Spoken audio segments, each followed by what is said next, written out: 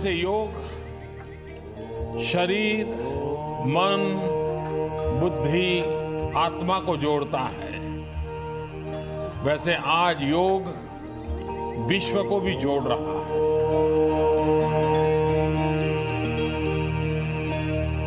योग ऐसा है जो ज़ीरो बजट से हेल्थ एश्योरेंस देता है।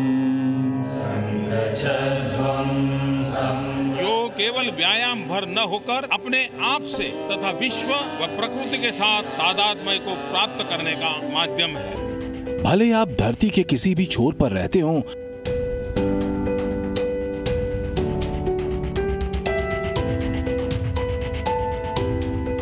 भले आप दुनिया के किसी भी हिस्से में रहने वाले हों,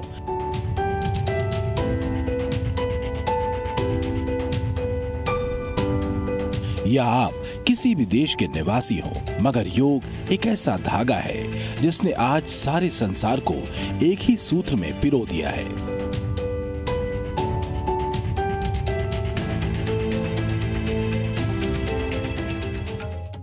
ये सूत्र है स्वस्थ शरीर का। ये सूत्र है स्वस्थ मन का। और ये सूत्र है बेहतर दुनिया का।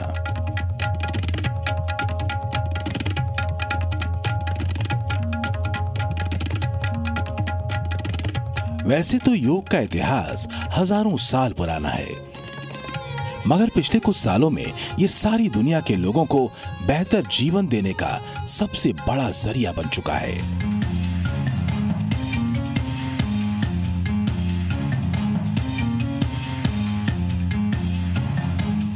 जंगलों और पहाड़ों की कंदराओं से निकलकर योग के अनेक आसन अब आम लोगों की छतों, बालकनी और ड्राइंग रूम्स तक में पहुँच चुके हैं। अनेक अबूझ बीमारियों से लड़ती आज की मानव सभ्यता को योग में ही निरोग शरीर की राह दिखाई देती है।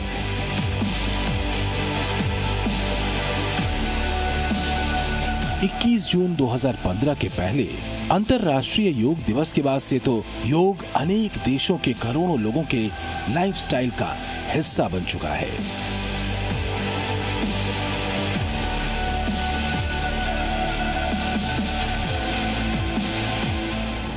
आज की दुनिया कोरोना नाम की एक रहस्यमयी बीमारी की गिरफ्त में है। एक अबूझ वायरस अब तक अनगिनत लोगों के शरीर की शराहों तक अपना घर बना चुका है।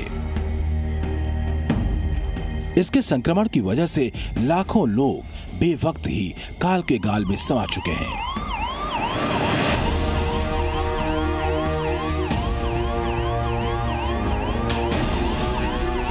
चारों तरफ़ फैली इस नाउमीदी के घोर अंधेरे के बीच। आज की मानव सभ्यता अपने अस्तित्व के लिए योग की तरफ़ टकटकी लगाए देख रही है।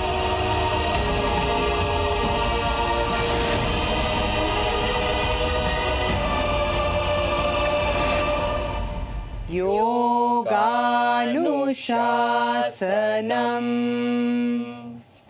योगः चित्तवृत्तिनिरोधः। तभी तो स्वस्थ तन और स्वस्थ मन के लिए दुनिया भर की मेडिकल एजेंसियाँ लोगों को योग अपनाने की सलाह दे रही हैं। कोरोना काल के त्राहिमाम के बीच जी मीडिया का ये योग ई विमर्श उन पहलुओं से आपको जोड़ने का ज़रिया है जो मुसीबत के इस वक्त में आपको सेहतमंद शरीर और स्वस्थ मन हासिल करने की राह बताएगा। दुनिया भर में डंका बजाने वाले योग गुरु यहाँ आपको बताएँगे कि कैसे योग के प्राचीन सूत्र को अपनाकर हम कोरोना के खिलाफ संक्रमण के संघर्ष में विजयी हो सकते हैं। यहाँ हम आपको ऐसे फिटनेस गुरुओं से भी मिलाएँगे जो मॉडर्न योग के ज़रिए आपको फिट रहने के गुर सिखाएँगे। तो देखते रहिए जी मीडिया का ये अनोखा और अद्भुत योग ई विमर्श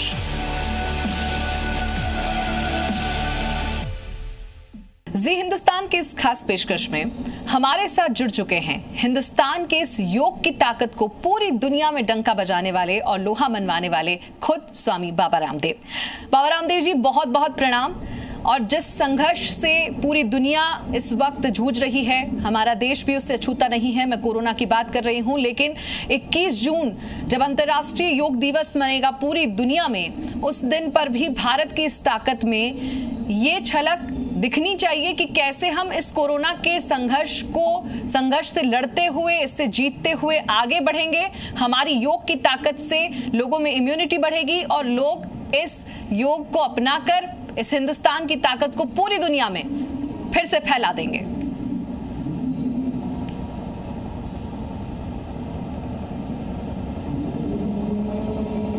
प्रथम तो माधुरिका बहन आपको और जी हिंदुस्तान को जिसके संकल्प में जिसके विचारधारा में और जिसके आदर्शों में हिंदुस्तान सबसे ऊपर है इसके लिए आपकी सोच को सलाम करता हुआ योग के संदर्भ में मैं तीन बातें छोटी छोटी कहना चाहूँगा। जहाँ तक कोरोना का प्रश्न है कोरोना जी। उन्हीं को प्रोटेक्ट करता है जिनका रेस्पिरेटरी सिस्टम वीक है जिनकी इम्यूनिटी वीक है जिनका ब्लड प्रेशर और हार्ट प्रॉब्लम शुगर का प्रॉब्लम बहुत इन कंट्रोल में नहीं रहता है जिनको मल्टीपल डिज़ीज़ है।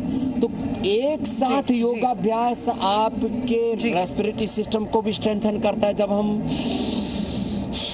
भस्त्रिका कपाल भाती अनुलोम विलोम भ्रामरी उद्गीत प्राणायाम सूर्य नमस्कार अलग अलग आसन आसन पोस्चर्स करते हैं तो रेस्पिरेटरी सिस्टम अच्छा होगा। इसके साथ साथ इम्यूनिटी आपकी मज़बूत होगी। बीपी शुगर कोलेस्ट्रॉल से लेकर के शुगर से लेकर के सारी डिज़ीज़ आपकी कंट्रोल में रहेगी। स्ट्रेस एंजाइटी डिप्रेशन कंट्रोल में रहेगा। तो कोरोना तो हारेगा ही। और हिंदुस्तान जीतेगा इंसान जीतेगा। लेकिन इसके आगे की जो बात मैं कहना चाहता हूँ योग एक जीवन पद्धति होने के साथ साथ हम्म। चिकित्सा पद्धति होने के साथ साथ योग पूरी मानवता के कल्याण का एक मार्ग है। इसलिए एक दिन के लिए 21 जून को मात्र योग ना करें। हम्म। योग को अपनी जीवन शैली बनाए योग को अपनी आदत बनाए अपनी हॉबी बनाए। तो आप रोग से लेकर के सब प्रकार के और चाहे वो नशा मुक्त जीवन है चाहे व्यसन मुक्त के साथ साथ एक तनाव मुक्त एक सुखी समृद्ध जीवन है। उसके लिए बहुत ज़रूरी और पूरी दुनिया की इस समय समस्या हम्म। युद्ध है। पूरी दुनिया में वायलेंस है। अलग अलग प्रकार के मजहबी उन्माद आतंकवाद हम्म। नक्सलवाद अब चीन और हिंदुस्तान का आप देख ही रहे हैं। और इसी तरह से पूरी दुनिया में अमेरिका और उसके हम्म। सा, साथ में भी जिस तरह से पूरी दुनिया में चल रहा है तो अलग अलग जो युद्ध की स्थिति है उसका भी समाधान योग ही है। इसलिए मैं तो सबसे आह्वान करूँगा योग को अपने जीवन शैली का हिस्सा बनाए। हम्म। सुबह सुबह एक घंटा योग कर ले बाकी दिन भर में जो आपको करना है आप मीडिया में काम करते हैं एग्रीकल्चर में इंडस्ट्री में हैं, आप हेल्थ में एजुकेशन में हैं रिसर्च में हैं, आप मिलिट्री में हैं, जहाँ पर भी आप हैं, उस दायित्व को आप ठीक से निभा पाएँगे। यदि एक घंटा योग को अपनी दिनचर्या में आप अपना लेते हैं तो। स्वामी जी मैं चाहूँगी कि आप क्यों ना मुझे कुछ चार पाँच ऐसे स्टेप ज़रूर बताएँ या ऐसे योगा आसन ज़रूर बताएँ जो दिनचर्या की शुरुआत में लोग 10 मिनट में कर लें तो वो 10 मिनट उनके पूरे 24 घंटे पर भारी हो और उनको वो आराम दे सके। क्योंकि इस वक्त सबसे बड़ी समस्या लोगों के पास ये है कि हमें अपनी दिनचर्या में अपने लिए तो वक्त ही नहीं है। तो ये जो एटीट्यूड है, इसको बदल कर लोग कैसे दस मिनट अपने आप को देना शुरू करें, इस पर जरा आप गौर करें।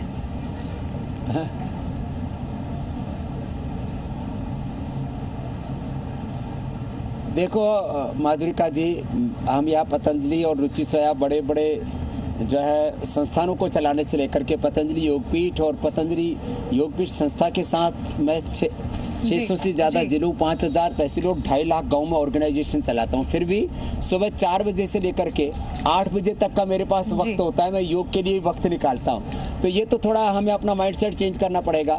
आप यदि योगाभ्यास करेंगे तो दस मिनट तो आपके टॉयलेट के ही बच जाएँगे। दो तीन हम्म। बार आपको टॉयलेट जाना पड़ता है फिर भी पेट साफ़ नहीं होता। आपको नींद बहुत अच्छी आएगी हम्म। उससे वक्त बच जाएगा।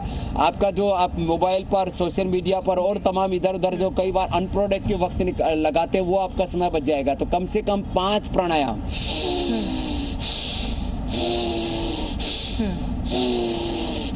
डीप ब्रीदिंग जिसको भस्त्रिका कहते हैं ये एक से दो मिनट ज़रूर करें। कपाल भाती जी।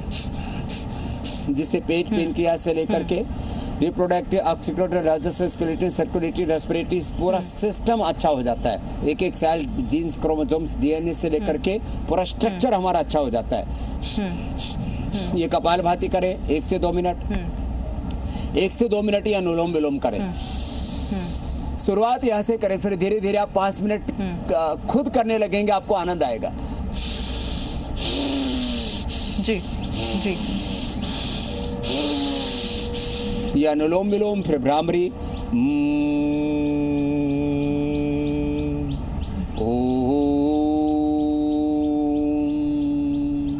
ये पाँच ब्रीदिंग एक्सरसाइज फिर डायबिटीज़ है तो पाँच आसन।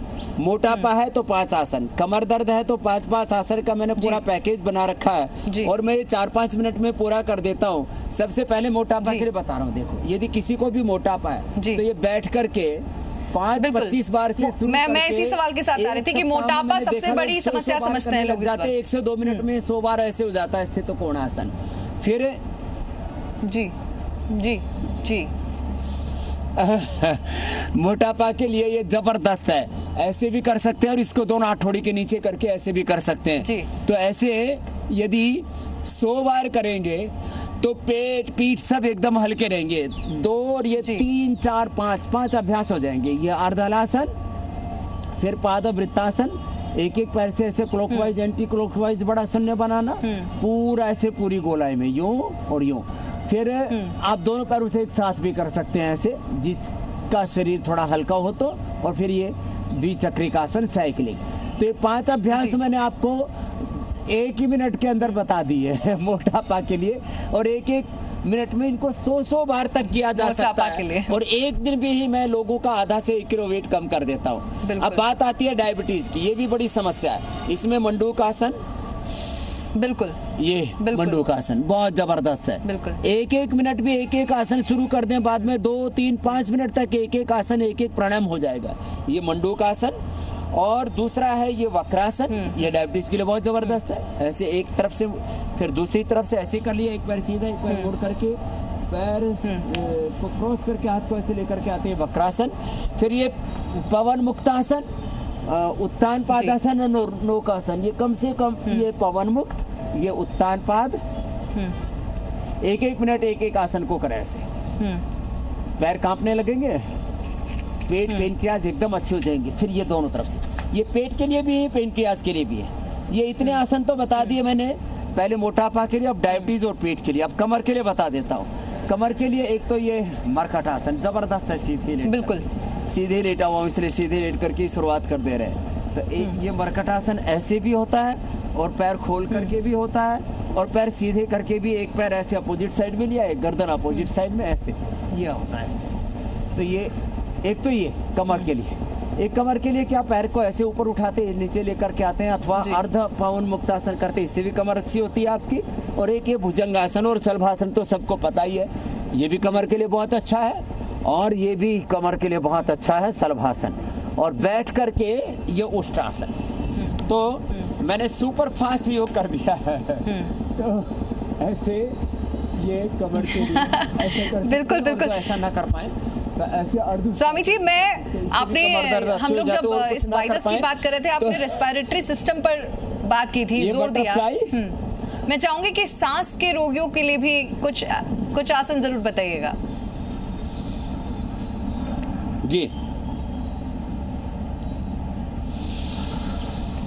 श्वास के लिए दमा के लिए एलर्जी के लिए बहन ब्रीदिंग एक्सरसाइज से बेहतर कुछ भी नहीं है। आज मेरा रेस्पिरेटरी सिस्टम इतना स्ट्रॉन्ग है कि मुझे साल में एक बार भी सर्दी जुकाम कफ एलर्जी नहीं होता है। मैं एक मिनट में 200 ब्रेथ रेट है मेरा मैं ऐसे क्योंकि मुझे ना तो हाइपरटेंशन है हार्ट की प्रॉब्लम है ना अस्थमा है ना हर्निया है ना कमज़ोरी है। मैं तो इसको ऐसे फास्ट भी करता हूँ। बिल्कुल बिल्कुल बिल्कुल बिल्कुल। लेकिन जिनको अस्थमा की प्रॉब्लम है ये भस्त्रिका करें ऐसे तीन से पाँच मिनट। कपाल भाती करें ये पाँच से दस मिनट। और अनुलोम विलोम करें पाँच से दस मिनट। बिल्कुल। दमा दम निकल जाएगा एकदम ठीक हो जाएगा। बाकी स्वासारी हमने बनाया हुआ है स्वासारी के पहले तो पाउडर ही देते थे हम लोग और लिक्विड देते थे अब गोली भी बना दी हमने। स्वासारी की गोली खा ले दूध में हल्दी सिलाजी चौनप्रास आदि ले ले। या गिलोय तुलसी हल्दी अदरक काली मिर्च का काढ़ा पी ले उससे कोरोना भी भागेगा और आपका इम्यूनिटी भी आपकी स्ट्रांग होगी और रेस्पिरेटरी सिस्टम भी आपका बहुत ही ज़्यादा स्ट्रांग हो जाएगा। माधुरिका जी। स्वामी जी, एक मेरा सवाल ये भी होगा, क्योंकि कुछ लोग ऐसे हैं जिनको वायरस हुआ और फिर वो ठीक हो गए, एक बड़ी लड़ाई उन्होंने जीती, वो जीत गए और फिर वो अपने घर चले गए। लेकिन ऐसे लोगों को भी एक डर ज़रूर है। इस वक्त देश में ऐसे कई लोग हैं जो ठीक हो गए। उनको भी डर होगा कि कहीं मेरे आसपास फिर से उस वायरस वायरस की वजह से कोई समस्या ना हो जाए, या फिर से वो वायरस हमें ना हो जाए। तो ऐसे लोगों को आप क्या टिप्स देना चाहेंगे, जो इस वक्त एक तो वो जो खुद आइसोलेशन में है, होम आइसोलेटेड है, दूसरे वो जो इस वक्त ठीक होकर आ गए हैं। क्या चीज़ें उनको ध्यान में रखनी है और कैसे योगा को दिनचर्या का हिस्सा बनाना है?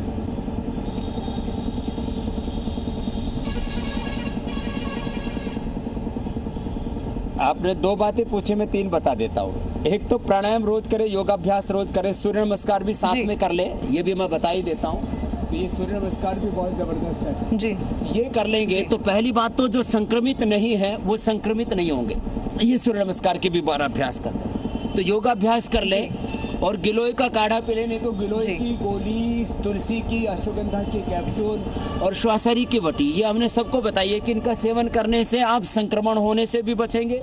संक्रमित हो गए तो 100 परसेंट आप ठीक हो जाएँगे। जी। और जो संक्रमित होकर के आ गए हैं वापस घर वो भी घर आकर के ज़रूर कम से कम गिलोय की तो गोली खा ही लें।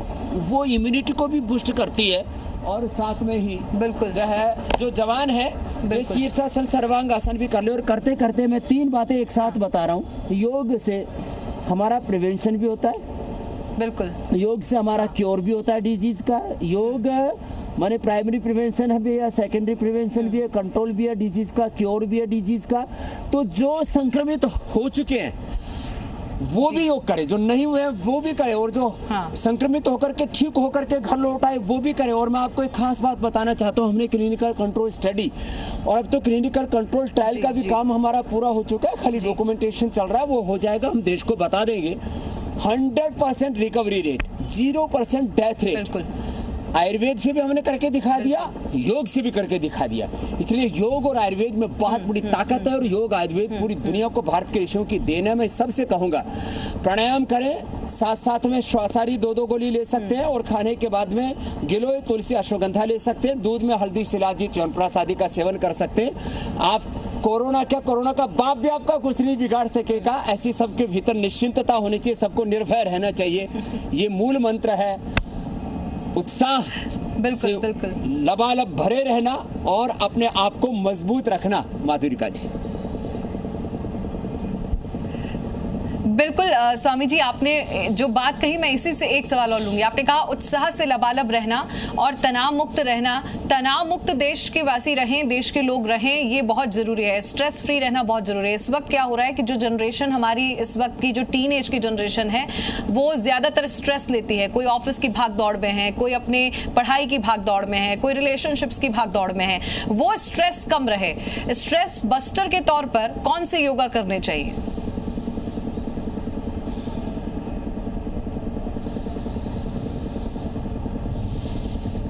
ये अनुलोम विलोम जो अभी कर रहा हूँ ना लेफ़्ट नॉसेल से राइट ब्रेन राइट नॉसेल से लेफ़्ट जी। माने हमारा इमोशनल ब्रेन हम्म। और लॉजिकल हम्म। ब्रेन दोनों ही ठीक हो जाते हैं प्राणायाम से। हम्म। अनुलोम विलोम भ्रामरी उद्गीत के साथ साथ ओम इसके साथ साथ शीतरी शीतकारी भी करें। ये ठंडक भी देता है तन को भी मन को भी दिल दिमाग को। और मन में शांति आती है शीतली जीवा बाहर निकाल के। जी। जी। जी। मुँह से लिया नाक से छोड़ दिया। जी। ऐसे इसको पाँच सात बार करें मुँह से लेके नाक से छोड़े। एक शीतकारी है। दांतों के पीछे जीभ लगा के मुँह से श्वास लेना। जी। जी।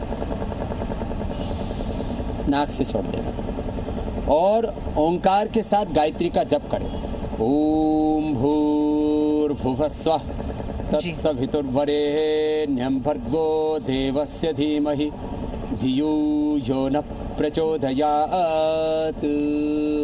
योग की तरह गायत्री मंत्र पे भी बहुत शोध हुआ है और अभी तो मैं गंगा जी के किनारे हर की पुड़िया मेरे पीछे देख रहे यहाँ पर बैठा हूँ ऐसे किसी को बहुत पवित्र गंगा का किनारा कोई शांत एकांत स्थान कोई एक प्रदूषण मुक्त जगह मिल जाए तो बहुत अच्छी बात है नहीं तो अपने घर में ही घी का दिया जला करके कर लो। और यंग स्ट्रेस के लिए जो आपने बताया स्ट्रेस के लिए उसके लिए शीर्षासन और ये सर्वांग आसन ये दोनों आसन बहुत अच्छे हैं। तो यंगस्टर्स को जो शीर्षासन न कर पाए उनको ये सर्वांग आसन कर लेना चाहिए। तो इससे एकदम स्ट्रेस फ्री रहेंगे। तो सर्वांगासन कभी आँखों पर हम्म, चश्मा नहीं आएगा बाल नहीं झड़ेंगे। हम्म। और बॉडी में एनर्जी का लेवल जी। हंड्रेड परसेंट अप रहेगा और सदा जवान रहेंगे। बूढ़े नहीं होंगे तो ये। मैंने जवानों को भी सदा जवान रहने के लिए एवर यंग रहने के लिए मंत्र दे दिया है, माधुरी काची बिल्कुल बिल्कुल, आपने ठीक कहा स्वामी जी। आपने एवर यंग रहने का जो मंत्रा है, उसमें महिलाओं के लिए कुछ खास बताइए। देखिए महिलाएँ जब तक मज़बूत हैं, तब तक समाज मज़बूत है, हमारा देश सशक्त है, मज़बूत है। महिलाओं में बहुत सारे लाइफ की जो जर्नी है पूरा, उसमें कई सारे चेंजेस हैं। एक महिला जब माँ बनती है, उसके बाद उसकी ज़िंदगी बदल जाती है। तो खासकर महिलाओं की मजबूती के लिए, क्योंकि कई सारी बीमारियाँ आती हैं, जिसमें हड्डियों की बीमारी महिलाओं में ज़्यादा हो जाती है आफ्टर फोर्टी तो ऐसे कई सारी बीमारियाँ हैं जो उनको घर कर लेती हैं और उसमें आ, काम भी उनको करना है उनको कई ऐसी भी हैं जो वर्किंग हैं। उनके लिए खास कोई योगा बताइए जो महिलाओं को स्ट्रेस फ्री भी रखे उनकी दिनचर्या को एकदम चुस्त दुरुस्त भी बनाए।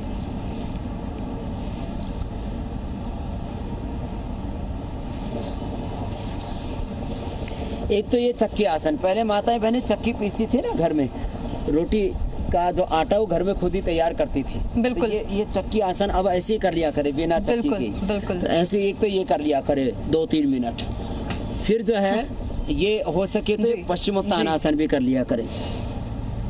ये भी बहुत अच्छा है। किसी को पूरा ज़्यादा ही करना है तो पीछे भी पूरे चले जाए और आगे भी पूरे आ जाए। ये और अच्छा है। तो ऐसे। जी, जी। ये दो अभ्यास तो ये फिर जो पहले मैंने बताए हुए थे। भुजंगासन और अर्धलासन पादवृत्तासन द्विचक्रिकासन जो मोटापा कम करने वाले अभ्यास हैं वो लेडीज़ को ज़रूर करने चाहिए। और लेडीज़ के लिए जी जी। एक खास अभ्यास। खासकर खासकर चेहरे पर ग्लो बना रहे। खासकर चेहरे पर ग्लो बना रहे। मॉइस्चराइजेशन की बहुत प्रॉब्लम होती है। वो उसके लिए जी जी। उसके लिए एक तो एलोवेरा जूस पिए एलोवेरा जेल चेहरे पर लगा भी ले और बहुत ही ज़्यादा चेहरे के ऊपर पिगमेंटेशन हो गया है रिंकल्स पिंपल्स और पूरा का पूरा झाइयाँ बहुत ज़्यादा आ गई हैं। तो कांति लेप कच्चे दूध में हनी में एलोवेरा जेल में मिला करके लगा लो और अच्छा है। तो ये मंडू का आसन हम्म। ऐसे मुट्ठी बाँध करके भी किया जाता है। जो मैंने पहले डायबिटीज़ और पेट के लिए बताया था ये महिलाओं के लिए भी ज़रूरी है। उनके भी पेटू भाग में बहुत पेन और पीरियड की प्रॉब्लम फिर लिपोरिया की ओवर ब्लीडिंग की और मंथली बंद होता है तो मेनोपोज की बहुत तरह की प्रॉब्लम आती है। तो लेडीज़ को ये आसन ज़रूर करना चाहिए एक तो मंडू का आसन और जो पहले बताया था मैंने चक्की आसन पश्चिमोत्तानासन और लेडीज़ को कपाल भाती प्राणायाम ज़्यादा करना चाहिए। कपाल भाती प्राणायाम से और अनुलोम विलोम प्राणायाम से हार्मोनल इम्बैलेंस कतई नहीं होता। और किसी को थायराइड की भी प्रॉब्लम हो जाए तो कपाल भाती के साथ हम्म। साथ उज्जाई और सिंहासन ये तीन चीज़ें करो और यहाँ से पॉइंट दबा लें और जो कर सके सर्वांग हम्म। आसन कर ले जो अभी मैंने करके बताया था एक ही सिंहासन है हम्म। ऐसे और एक गले को टाइट करके